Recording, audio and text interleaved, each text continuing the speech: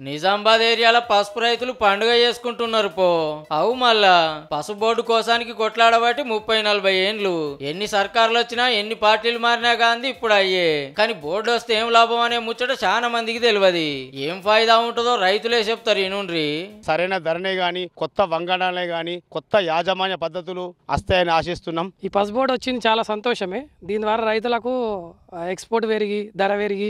గదన్నట్టు మద్దతు ధర వస్తుంది పరిశోధనలు పెరిగి కొత్త ఇత్తనాలు తయారు చేస్తారు అమ్ముకుంటానికి దూరం పోయే బాధ తప్పుతుంది. తక్కువ ఖర్చులు ఎట్లెట్ల బండియాలనో ఎరుక చెప్తారు. పసుపు ఉడకబెడతానికి ఆడకం చేసే ఇసురలు గవ్వేనుల్లా బాయిలర్స్ పాలిసర్స్కు కొత్త టెక్నాలజీ వస్తది. మిషన్లతో వ్యవసాయం రువ్వడి పెరుగుతుంది ఖర్చు తగ్గుతుంది. అంతేకాదు మార్కెట్ల బోకరిగాళ్ళ గోసలు తప్పుతాయి. ఈడికెళ్ళే ఏరే దేశాలకు పంపుతారు కాబట్టి మస్తు లాభం అవుతుందట రైతులకు. మన ప్రధానమంత్రి గారు ప్రకటించడం మాకు చాలా గర్వకారణంగా ఫీల్ అవుతున్నాం.